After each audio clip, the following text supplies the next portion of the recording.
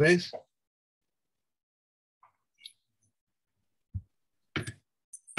Space, space. Um, brought, okay, no, we're in we're in Sota um, Aleph test now. uh, I guess uh, my, my, while we were talking, I took, my- here it is. I took the tissue out. So now that we were, okay, and so too for good. Miriam waited for Moshe one hour, as it is stated, and his sister stationed herself from afar. Therefore, Israel delayed for her seven days in the desert, as it is stated, and the people did not travel until Miriam was brought in. Joseph was um, uh, privileged to bury his father, and none of his brothers were greater than he, as it is stated. And Joseph went up. Joseph went up. Uh, Joseph went up to bury his father, and he brought with him both chariots and horsemen. Uh, who was treated with as much honor as Joseph, and none other than Moshe attended to him. Moshe was privileged to attend to the bones of Joseph, and there was none in Israel greater than him, as it is stated. And Moshe took the bones of Joseph with him. Who was treated with greater honor than Moshe, but none other than the Almighty attended to him, as it is stated in Devarim, and he buried him in the valley, and not of Moshe alone did they say, but also of all the righteous, as it is stated, um, and your righteousness shall go before you, and the glory of Hashem shall gather you in. He brought her to a mincha offering in an Egyptian basket and put it in her hand so as to tire her. All mincha offerings start and finish in service vessels, but this one starts in an Egyptian basket and finishes in service vessels. All mincha offerings require oil and frankincense, but this one requires neither oil nor frankincense. And all mincha offerings are wheat, flour, and this one is of barley flour.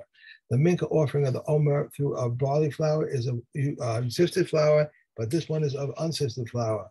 Rabbi Gamliel says, just as her deeds were like those of an animal, so too her offering is from the food of animals.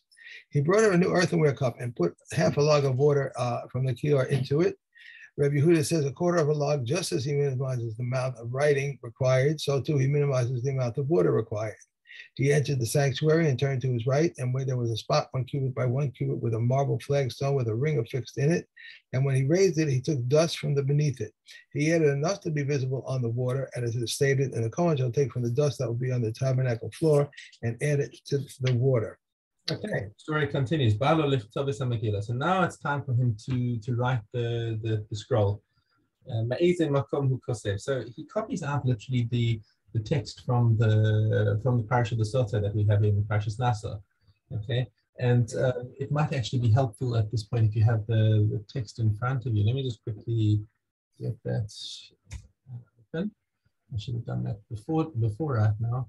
Uh, I don't know if you do you have a chumash in front of you. I will get one in one second. Okay.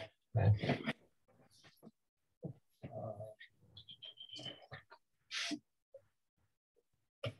Okay. Um, oh wait, where are we? In, uh, what, do, what do you want? Which which commission want?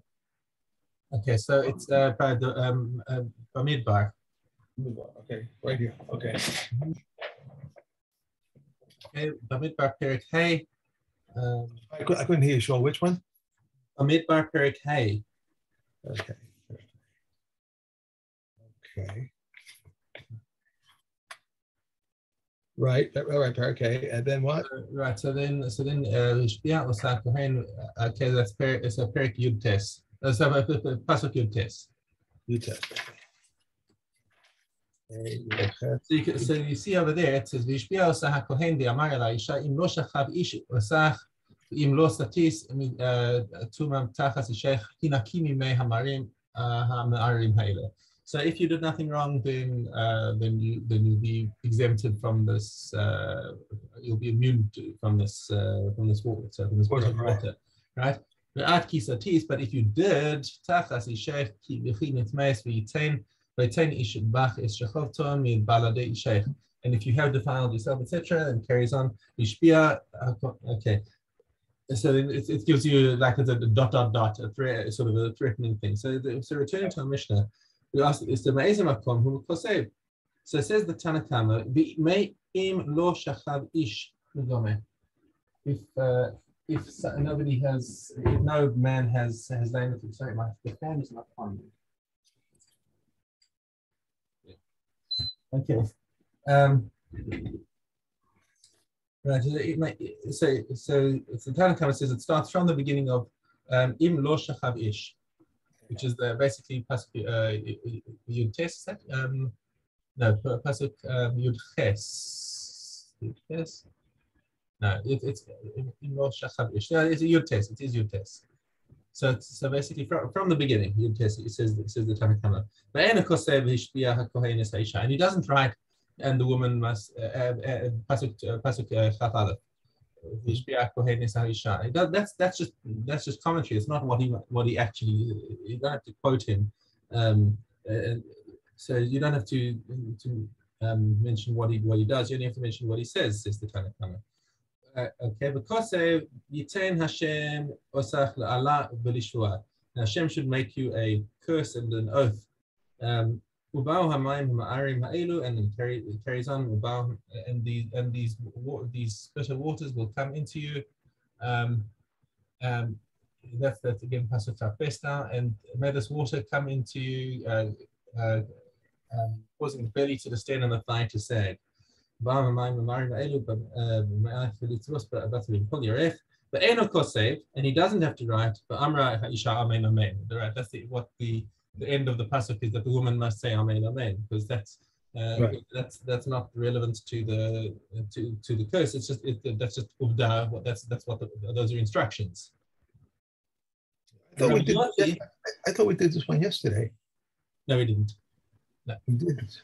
No. I remember, I remember Omer Lo Haya Mafsik. So so Rabbi Yossi says no, he didn't. He didn't stop. He wrote he wrote the whole parasha verbatim, including the including the instructions of what he must do and what she must do.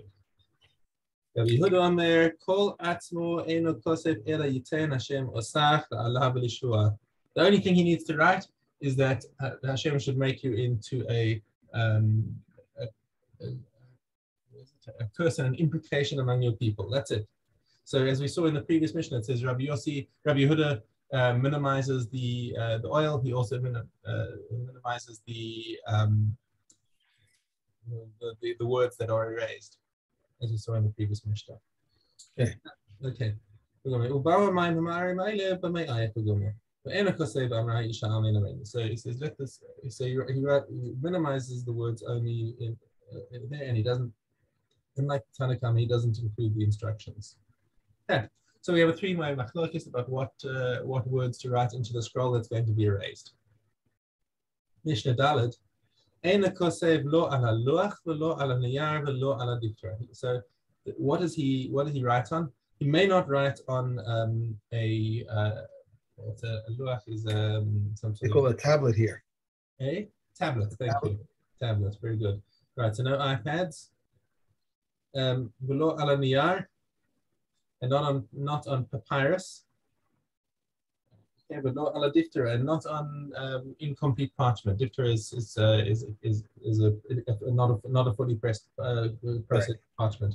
Ela ala Megillah must be on parchment. Shenimar b'sefer. Okay, the Torah says it's in a sefer. Ve'ena kosev lo b'komas v'lo b'konfantim v'lo b'chol davar shiroshen. And you may not write with um, uh, all these different types of of, of printing. So you, you you've got the, the right translations for me. So save me the trouble, please. Um, Konfantim. It says uh, you cannot write on a tablet or a papyrus or an unprocessed skin, but only on a scroll, as it is stated in a book. And he may not write uh, may not write with gum, Gum. vitriol, or with Vitriol. substance that leaves a mark. Right, any- substance that leaves a mark. So now that's that's actually an important point. Is that it mustn't leave a stain. I don't know if you've ever seen on a uh, um, on a on a Sefer Torah or whatever when they need to make a correction, they can actually come with a, a, a little blade and scrape off the, the ink, and it just flakes off and it leaves nothing behind. Nothing behind, right. Okay, so it was literally flake off and uh, and not uh, not do anything else. Okay, Right. um, right. So if, it- so if it's if it, but it leaves a permanent mark on it, that's not uh, that's not considered erased because he's, he's got to be able to erase it. It must be done with ink. Okay, umacha, he's going to have to erase it. Kas kasav sheyachol limachek, some kind of writing that may be erased. Um, now, a, a little interesting digression over here. We, we, we going into the lambdas of what is it that she's saying when the woman says amen, amen to the uh, to the curses because it says the, the- you know, this is what she must say amen, amen, two amens. What is Right. she saying amen to over here? Uh, is the what is the Mishnah's question? So we have, uh, as usual, a machlokes. Um, amen al ha'ala, amen al shvua. Okay, she says yes, I agree to the uh, to the to the curse, and yes, I agree to the oath that I'm saying that, I am. Um, um, that, I mean, uh, I'm not sure is what the what the says. in noshach ab ish osaf im nosaf is timan seifin akim amen ele. Um, that yes, I, saying yes, I am innocent. Yes, I agree to this curse. Furthermore, amen me ish zeh, amen me ish acher. Ah, so now we're introducing the concept of Gilgul Shua. It's, it's not just saying about this man. What if, uh, what if she, meanwhile, she was innocent from this guy, but meanwhile she'd had an affair with somebody else without her husband knowing it. Okay, so that's also going to uh, to affect her over here. That she's that he's he's not just adjuring her and saying, "Was it? Did you have an affair with this man?" He says, "I did not have an affair with this man." Right. the guy standing next to him. no, no, no, no, no, no, no. This is I mean, I mean, Did you have have you had relations with any man other than your husband? So now, without this guy, she wouldn't have been. She, he wouldn't have been able to make her swear. But since she's been having to swear on this guy, she's now he, he's now able to be megalgal shvua on every man. Okay. Um, Amen. Amen. Shelo satisi arusa unasua. The shomeres yavam and and furthermore, this is now, um, uh, she, she also says that uh, she also swears that uh, that she didn't have uh, any relations whether whether she was betrothed or married. So even before she came into his house, this is uh, this um, this this is coming in. And an interesting one over here is shomeris uh, or or if this is now the, a marriage from from Yibum, um, then she then she he also rolls in uh, the time before, in between her her previous husband's death and her and and, and being married to her to his brother. Now that actually is a little controversial because that's only the opinion of Rabbi Akiva. Remember, Rabbi Akiva's got a got a different shita with arayos. He's a lot more machmir with uh, with a lot of these uh, with a lot of these things of arayos and and creates uh, you know kares out of uh, any anything that's that's aser. So he says that this that he can also be Miguel Shua um, onto the onto her, her waiting stage before the before the Avam. Whereas Chachamim disagree with with the Rabbi Akiva, and, that, and, that's actually not the that's actually not the halacha. That uh, that the uh, Shomeres Yavam who had an affair is uh, is not actually asked to the to the Yavam. She can still she can still marry him. It's not considered a it's not considered an arise. I mean, it's not considered it's not it's not asur uh, in Isser Karis, it's an Isser of Yavama Lashuk, which is a stam lav. So, so actually, this would not, uh, according to Chachamim, this would not be uh, rolled into the Shua. Okay, carrying on with all the amens. Amen shelo nitmesi, im nitmesi yavo will be. And um, I amen, amen that I did not become tame, and if I did become tame, then these waters should uh, should come into me, and I accept the I accept the punishment if I'm lying. Rabbi Meir adds on another another thing. He says, "Amen shilonit mesi, amen shilot etamei." He says this is also an, an, um, an undertaking for the future. That she now has a sword of Damocles over her head. And once she's drunk this water, if she commits adultery in the future, then the water is just sitting there waiting to to punish her. So therefore, so it's a it's an amen to that as well, uh, which of course the Chachamim disagree with that it can only be bodek what's in the past. It cannot help you with what's in the future. Okay. Okay. I, I have a question about word here. Um, yeah.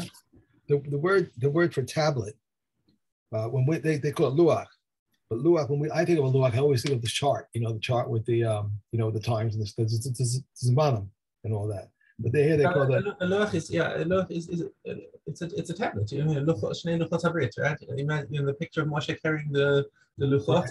Right, right, right. That's a Luach. Okay, all right. And Hebrew has many different meanings for one word. okay. All right. On to um, Oh, no, we have you. Yud. I'm sorry? Nazir Yud. And here we go. Uh, if he shaved his head following the sacrifice and it was found to be invalid, his shaving is invalid and his sacrifice do not count for him. If he shaved after a sin offering which was slaughtered, not for his designated purposes, and then he brought his offerings for, for their designated purpose, his shaving is invalid and his sacrifices do not count for him. If he shaved after the burnt offering or after the peace offering, which was slaughtered, not for the designated purpose, and that he brought his offering for the designated purpose, his shaving is invalid and his sacrifices do not count for him. Reb Shimon says the sacrifice does not count for him, but the other sacrifices do count for him. If he shaved after all of these and one of them was found to be valid, the shavings are valid and he brings uh, the other sacrifices. Someone for whom one of the bloods had been thrown and he then became Tame, Reb Eliezer says he forfeits all. But the sages say he, he should uh, bring the rest of the offerings and become Tahor. They said to him, It happened with Miriam the Tarmodite that one of the bloods had been thrown for her, and they came and told her about her daughter who was in danger. She went and found that she had died, and the Chachamim said she should bring the rest of her offerings and become Tahor. And a Kohen Gadol and a Nazir may not become tamei from contact with their relatives, but they may become tamei with an abandoned corpse. If they were traveling on the way and they found an abandoned corpse, Rabbi Eliezer says the Kohen Gadol should become tamei, but the Nazir should not become tamei. But come and say the Nazir should become tamei, but the Kohen Gadol should not become tamei. Rabbi Eliezer said to them, the Kohen should become tamei since he does not bring a sacrifice for his tumah, but the Nazir should not become tamei since he brings a sacrifice for his tumah. They said to him, the Nazir should become tamei, uh, tamei, and since the sanctity is not everlasting, but the Kohen should not become tamei since his sanctity is everlasting. Durham. Okay, uh, Zion, Zion Dalit. Someone who makes a net of prohibiting a house is permitted the upper story. These are the words of Rav Meir. The comment, however, say the upper story is included in the term house. One who makes a net of prohibiting from the upper floor is permitted the house. One who makes a net of prohibiting a bed is permitted the footstool. These are the words of Reb Meir. The Chachamim, however, say a footstool is included in the term bed. One who makes a net of prohibiting a footstool is, is permitted the bed, and one who makes a net of prohibiting a city is permitted to enter the tchum of the city, but is forbidden to enter the extension. But one who makes a net of prohibiting a house is forbidden from the doorframe and inward. If a person says, Konam these fruits to me, may they be Konam from my mouth. For may they be Konam from my mouth is it forbidden whatever is exchanged for them. And whatever grows from them, with respect to my eating or respect to my tasting, he has permitted whatever is received in exchange for them and whatever grows from them. If it is a thing which seed, whose seed decomposes, but for a thing whose seed does not decompose, even what is grown from what is was grown is forbidden. And one who says to his wife, Konam, your handiwork to me, they are Konam from my, from my mouth, or they are Konam to my mouth. He is forbidden whatever is received in exchange for them and whatever grows from them. With respect to my eating, respect to my tasting, he is permitted whatever is received in exchange for them and whatever grows from them. And if a thing whose seed uh, opposes. Wait a second, am I? Which the Mishnah, Bab and Mishnah Zion are actually pretty similar. You're talking about your Zion. This is where the one, one who speaks to his wife. This is Zion, Zion. Uh, okay, no, that's that's for tomorrow. Okay. So we can we can leave that. Uh, let me just use. Oh, that's okay. Okay, Yavamas Gimel Gimel.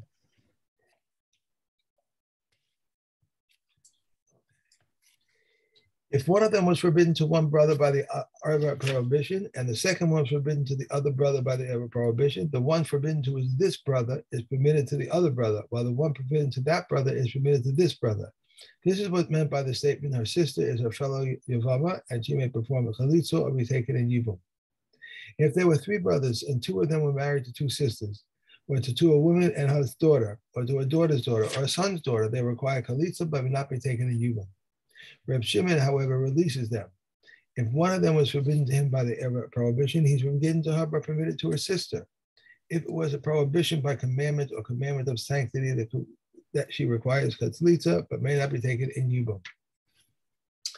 If there were three brothers and two of them were married to two sisters, while one was unmarried, if the husband of one of them, the sisters, died, and the unmarried one performed maamar with her, and then his second brother died, Beis Shammai says his wife remains with him, or the other is charged as his wife's sister.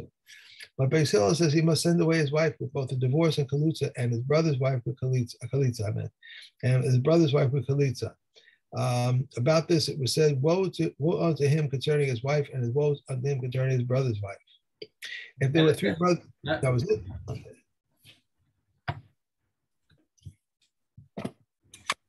there's something about this, this, uh, this whole thing with, uh, Yavamos.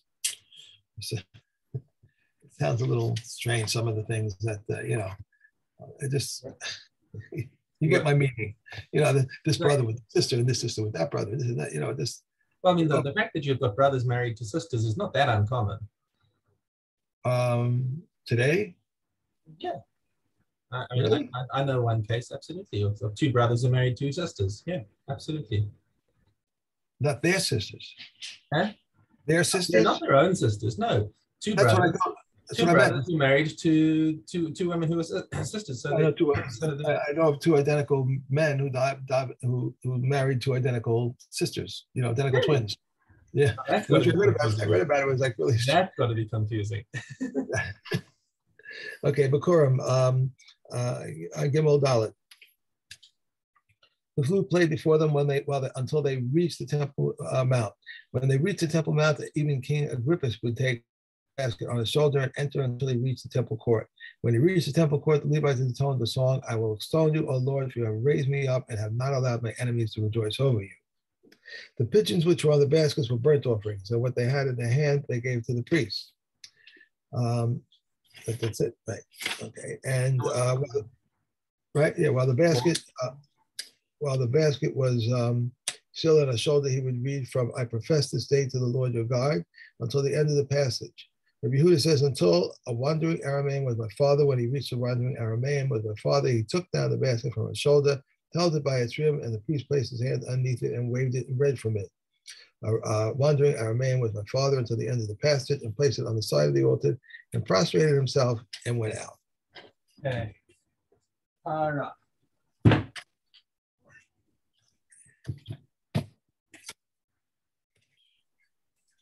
Okay. Uh, dollar test.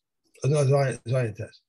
If someone had his, his had his water on his shoulder and it issued a ruling, or he showed the way to others, or killed a snake or a scorpion, or he took food to store it, it is disqualified. If he took food in order to eat, the water is valid. If the snake or scorpion was obstructing him, it is valid. Said Yehuda, this is the rule. With anything that is considered a different activity, whether he stops or does not stop, is disqualified, but something that is not considered a different activity. If he stops, it is disqualified, and but what but if he does not stop, it is valid. One entrusted uh, his water to a tamei person, it's invalid. But if he entrusted it to a not Tahor person, it is valid. If Eliezer says, even if he, entrust, he entrusted it to a tamei person, it is valid if the owner does not perform a different activity. If two were filling their barrels for Katas water and they helped each other lift their barrels and remove the thorn from one another, and one sanctifies and one sanctification, it is valid. For two sanctification, it is disqualified. Rabbi Yossi says, even with two sanctifications stipulated. One more. Well, I lost you. I lost you there for a second, but uh, but basically, if they if they had a deal between them that each one was going to help the other, then uh, hang on. Can you hear me? Is this me?